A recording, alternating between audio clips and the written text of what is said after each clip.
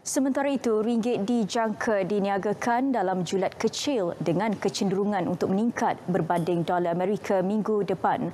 Unjuran itu didorong sentimen risiko yang bertambah baik bagi mata wang tempatan. Rakan Kongsi Pengurusan SBI Asset Management Stephen Ines berkata, ringgit mungkin didagangkan lebih baik sejajar kelemahan dialami dolar. Berdasarkan sentimen semasa, ringgit diramal diniagakan dalam julat 4.43 hingga 4.45 berbanding dolar minggu depan. Bagi minggu baru berakhir, ringgit diniagakan bercampur-campur berbanding dolar berikutan peniaga kekal berhati-hati dalam ketidaktentuan pasaran selain memberi tumpuan kepada data ekonomi terkini Amerika.